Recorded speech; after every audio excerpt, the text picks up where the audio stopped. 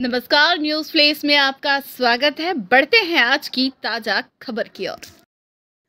झालावाड़ में 12 मार्च को जिला कांग्रेस कार्यालय में दांडी मार्च की चौरानवे वर्षगांठ पर महात्मा गांधी जी की तस्वीर पर पुष्पांजलि अर्पित कर उन्हें याद किया गया।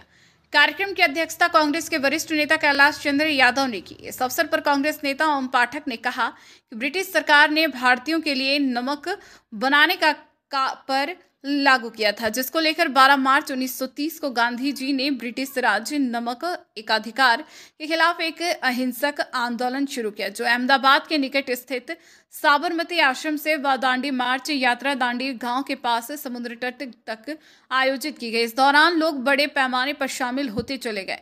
यह यात्रा 24 दिनों से 240 मील 390 किलोमीटर दूरी तय कर, बिना कर चुकाए नमक बनाने के लिए पूरी की गई।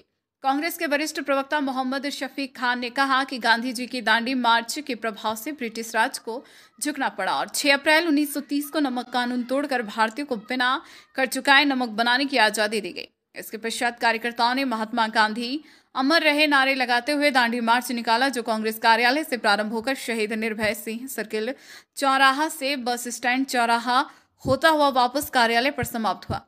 कार्यक्रम में कांग्रेस नेता नंदलाल राठौड़ संजीता बेगम, शौकत अली, मांगीलाल वर्मा, पुरुषोत्तम लक्ष्मी बाई मधुबाई रामचरण, सत्यनारायण चौथमल कार्यकर्ता मौजूद रहे।